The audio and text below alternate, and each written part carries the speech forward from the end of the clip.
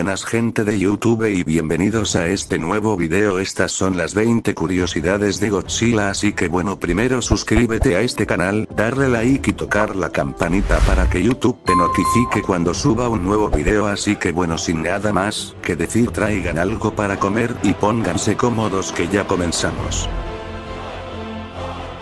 1 Godzilla es un monstruo atroz creado en el año 1954 por el estudio japonés llamado Toho. Su primera película llamada Godzilla en la película veíamos como por las bombas de Hiroshima un monstruo gigante ataca todo Japón y el Dr. Serizawa con un destructor de oxígeno logra asesinar a Godzilla pero este también moriría. El presupuesto de la película fue de 63 millones y recaudo 225 millones, siendo todo un éxito y a todo a continuar con Godzilla. 2. Su creador llamado Tomoyuki Tanaka, tras volver a Japón en el avión, se preguntó qué pasaría si por las bombas de Hiroshima y con radiación surgiera un monstruo, fue al estudio y nacería Godzilla, y con esa idea nacería uno de los kaijus más queridos en toda K historia. 3. El nombre original de Godzilla es Kojira y este deriva de dos palabras japonesas una es gorila, que es gorila y Kujira que significa ballena. 4. La primera película de Godzilla fue el film más caro en toda la historia cinematográfica de Japón. 5. Como saben en las primeras entregas de Godzilla se usaba el Suimeichon no sea un hombre disfrazado pero el primer traje de Godzilla pesaba más de 100 kilos y lastimosamente tuvieron que crear otro para que los actores puedan usarlo. 6. Originalmente la primera película de Godzilla de 1954 iba a hacerse con animación de stop motion, como también se hizo con la película de King Kong de 1933, pero por el presupuesto lo cambiaron al que todos conocemos el Sweet Michon.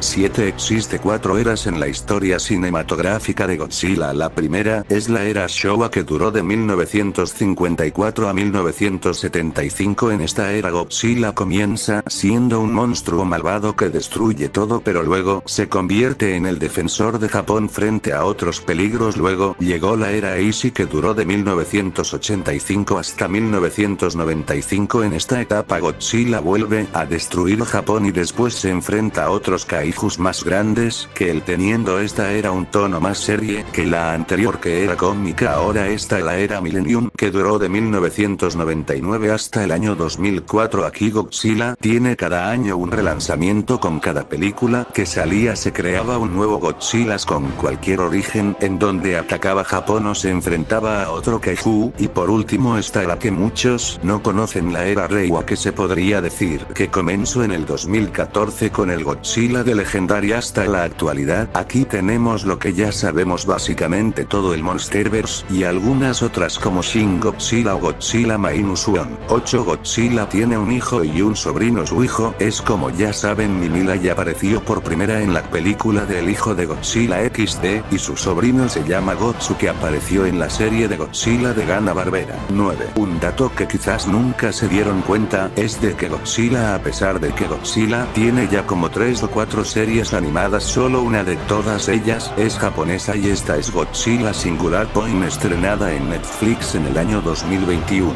10. El rugido original de Godzilla se consiguió al frotar las cuerdas de un bajo con un guante de plástico mojado todo fue gracias al compositor japonés Akira Kukui. 11 Aunque muchos nunca se dieron cuenta de esto Godzilla tenía su propio Saiki por dar un ejemplo Angirus es para Godzilla lo que Robin es para Barman Tales con Sonic etc. 12 A finales de los 70 Marvel adquirió los derechos de Godzilla y lo pusieron a pelear con los cuatro fantásticos los X, Men los Vengadores y varios personajes más del universo de Marvel. 13 para celebrar su quinto agésimo aniversario en el año 2004 Godzilla recibió su propia estrella en el Paseo de la Fama de Hollywood, siendo el primero y hasta el único personaje no norteamericano en conseguir una estrella en este lugar, ni siquiera King Kong tiene una XD. 14 Godzilla fue nombrado ciudadano oficial de Tokio en Japón, y también fue nombrado embajador de turismo para el distrito su trabajo es traer el entretenimiento y traer turistas de todo el mundo. 15 Existe un hotel temático de Godzilla en este, se puede ver una maqueta gigante del Godzilla Easy, y en algunas habitación del hotel tienen una vista directa a su cabeza épico. Un dato curioso es que en la película 100 cosas que quiero hacer antes de ser un zombies hay una escena en donde nuestros protagonistas pasan por la ciudad en donde está esta maqueta. 16 en la película de Godzilla contra Ghidorah fue la primera y la última en donde Godzilla pudo volar de una forma extraña